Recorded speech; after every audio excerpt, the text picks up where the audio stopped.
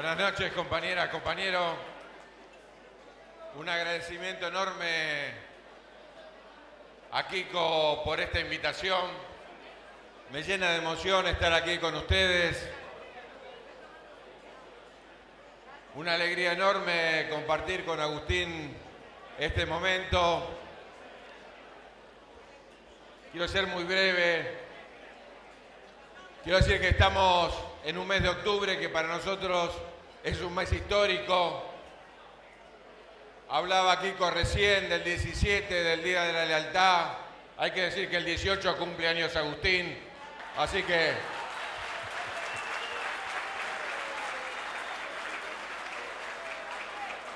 es también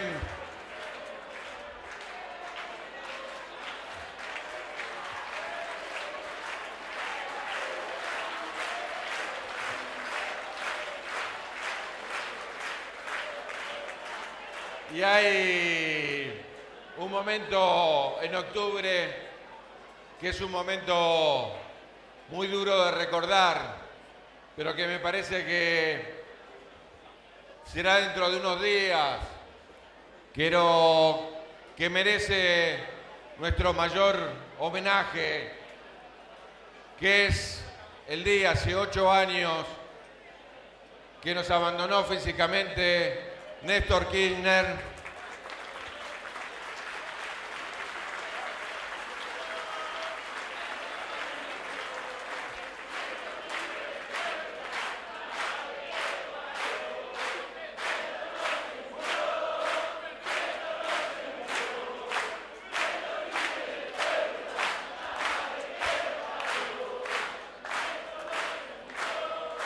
Y claro que Néstor vive en el corazón de su pueblo, vive en la conducción de Cristina, Néstor vive en cada una de las luchas que nuestro pueblo está dando para poder sacarse de encima a Macri y el neoliberalismo. Recordaba a Kiko recién, no, el compañero que me presentaba, el turco, recordaba recién cuando vinimos con Néstor. El día 27 de mayo, habíamos asumido el 25 de mayo estaba Néstor acá del otro lado del río resolviendo el conflicto de los docentes, sin importarle que era un gobernador radical, sin importarle que, tenía que poner la plata en la provincia. Pero Néstor me dijo el primer día, nosotros no podemos soportar un solo día que nuestros chicos no tengan el derecho a la educación. Y puso como primer objetivo del gobierno defender a los trabajadores.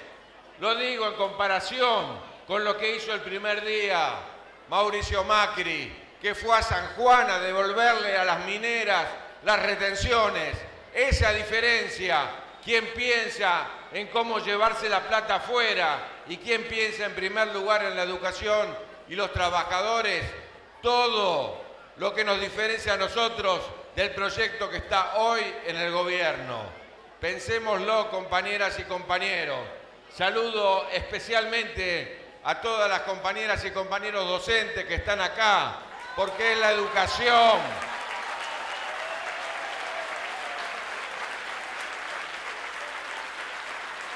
Es el trabajo que Macri trata de estigmatizar. Es el trabajo de nuestros maestros, de nuestras maestras, de nuestros profesores, todos los días en cada una de las aulas el que siembra futuro. Por eso uno puede tener muchos orgullos en la vida, pero si hay uno que voy a llevar para siempre es haber sido el ministro de Educación, Ciencia y Tecnología de Néstor Kirchner, que colocó como objetivo principal el futuro de nuestros chicos, sin lugar a dudas. Pero este mes de octubre tienen una categoría especial. Hoy, compañeras y compañeras, octubre del 2018, falsa, falta justamente un año para que le digamos en las urnas, basta Macri, basta el neoliberalismo, basta de hambre, basta de desocupación. Falta un año, compañeras y compañeros En un año, Macri va a ser un mal recuerdo. En un año volveremos a tener un futuro venturoso por delante. En un año, nuevamente el peronismo y todas las fuerzas nacionales y populares recuperarán el control del gobierno para poner el Estado al servicio de los más humildes, al servicio de los trabajadores, de los sectores medios, al servicio de los que lo necesitan. Y nunca más tendremos ministros que tengan su plata afuera porque no confían en el país. Nosotros confiamos en la Argentina, confiamos en nuestro pueblo, confiamos en nuestra gente y ahí construiremos nuevamente la Argentina que nos merecemos. Pero vamos a ganar en un año, voy a ser muy breve compañeras y compañeros, vamos a ganar en un año si nosotros logramos algunas de las cuestiones que planteaba Kiko recién. Vamos a ganar en un año si somos capaces de construir la unidad de todos aquellos que se oponen al gobierno de Macri. Ninguna encuesta hoy, compañeras y compañeros, habla de que menos del 70% de los argentinos se oponen a la política de Macri. Nuestro secreto, nuestra fuerza militante, nuestra capacidad como dirigentes está en que seamos los peronistas los que somos capaces de conducir no solo a los peronistas, sino todos aquellos que se oponen a Macri para que en un gobierno patriótico, un gobierno nacional que defienda intereses de los argentinos, logremos que realmente todos unidos, como dice la marcha, podamos llegar al gobierno para defender los intereses populares. La unidad, compañeras y compañeros, no se hace solamente con los que piensan igual a nosotros. No se hace solamente con los que nos gusta abrazar. No se hace con los que estamos todos los días. Tenemos que hacer un esfuerzo, porque si por un voto perdemos dentro de un año, esta Argentina no tiene ningún destino. Imagínense por un segundo cuatro años más de un gobierno como el de Macri. Necesitamos resolver, en primer lugar, la cuestión de la unidad.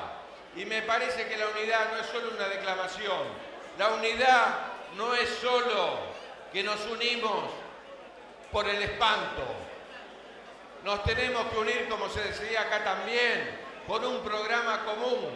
Es un objetivo común, un programa de una patria soberana, de una patria libre, de una patria justa, lo que nos tiene que permitir volver a llegar al gobierno.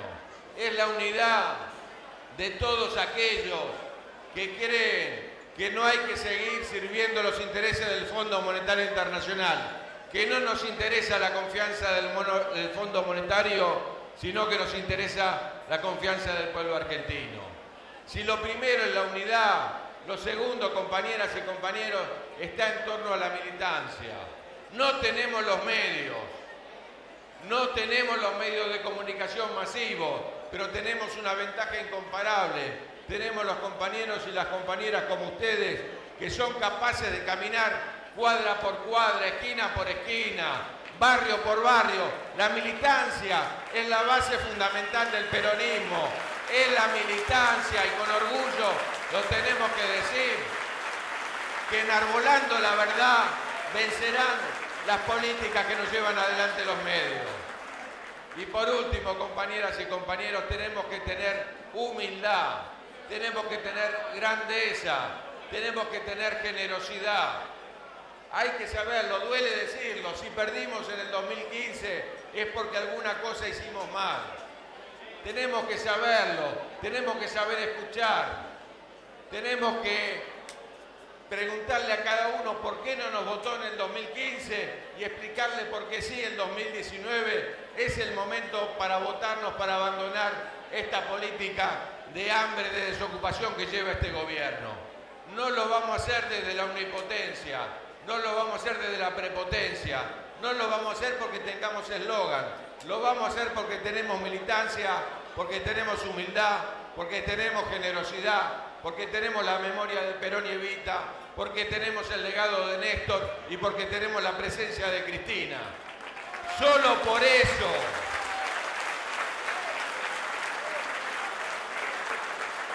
Estamos habilitados para llegar. Y quiero decir, compañeras y compañeros, que tenemos que mirar muy bien a nuestros dirigentes Ahora, en nuestros días, la semana que viene, la otra semana, vamos a tener una oportunidad histórica. Vamos a tener la oportunidad histórica de ver quiénes son los que votan este presupuesto de hambre y quiénes son los que se paran frente al presupuesto del Fondo Monetario Internacional a decirles no a los presupuestos hechos en Washington. Hay que decirlo, los periodistas de los medios de comunicación oficiales no quieren clasificar. Dice, está el peronismo responsable, está el peronismo de la gobernabilidad, está el peronismo bueno, está el peronismo del helicóptero y hasta el ministro de Educación dijo, está el trosco kirchnerismo. No, compañeros, no fueron responsables los peronistas que votaron que este año íbamos a tener el 10% de inflación. No fueron responsables los peronistas que votaron que este año el dólar iba a estar a 17. No fueron responsables los peronistas que dijeron que este año íbamos a crecer. Fuimos responsables los peronistas que nos opusimos a un presupuesto de hambre y miseria para el pueblo argentino. Hoy, quienes realmente votaron ese presupuesto dieron lugar a que haya una cuota de credibilidad frente a un gobierno que nos ha hambriado, que ha llevado a la desocupación, que ha destruido la industria nacional. Los peronistas responsables somos los que decimos la verdad y somos los que decimos que si este presupuesto se vota tal como está, es un presupuesto que nuevamente va a llevar al país al desastre y va a llevar al país a cada vez más tener desocupación, pobreza va a llevar al país a la destrucción de la educación, de la salud, del trabajo, de la cultura y de la ciencia y la tecnología. Por eso, y para terminar, quiero decir, lo digo como un dirigente de la ciudad de Buenos Aires, lo digo como con el orgullo de haber sido ministro de Educación, haber sido senador nacional, haber sido el primero y único, porque Macri lo primero que hizo fue sacar secretario de Malvinas. Estoy orgulloso de que el presidente del bloque de diputados del Congreso de la Nación sea Agustín Rossi. Que venga de esta provincia.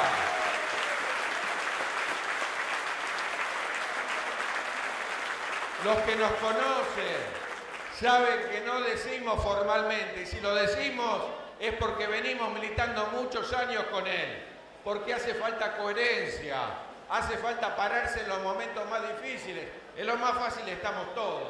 Pero lo que lo hemos admirado, lo que hemos esperado cada finalización de las sesiones en la Cámara de Diputados para escuchar la verdad que decía Agustín, aún en los momentos más difíciles, somos los que estamos seguros que con la conducción de Agustín en la Cámara vamos a tener, como lo venimos teniendo, el bloque que sea de frente para la victoria del Partido Justicialista, de Unidad Ciudadana, que es el bloque que defiende lo que piensa Cristina, que es el bloque que sin lugar a duda va a encabezar esa enorme lucha que tenemos hasta el año que viene.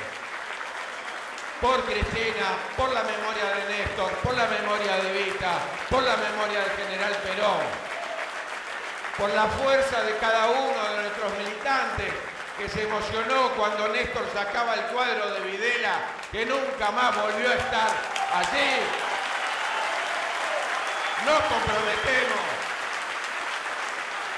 nos comprometemos, compañeras y compañeros, a hacer verdad lo que dijo Cristina en Avellaneda del año pasado, el 9 de julio, el 9 de diciembre, del 2019 va a ser el último año en toda la historia argentina que gobierne el neoliberalismo. Volverá el movimiento nacional y popular a la conducción del Estado. Gracias compañeras, es un orgullo, es un honor compartir con ustedes este momento.